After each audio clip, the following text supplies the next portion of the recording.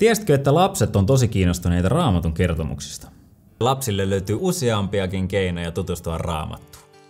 Raamattu Maraton innostaa lukemaan raamattua yhdessä lasten kanssa. Ja kun me otettiin tämä kotona esille, niin lapset innostu heti. Varsinkin noista palkinnoista. Kyseessä on siis lukumatka, jossa aikuiset ja lapset tutustuvat yhdessä raamattuun. Kartta juliste tilataan raamatun lukijan liitosta. Lukuohjelma löytyy netistä ja tämä sopii eri-ikäisille lapsille.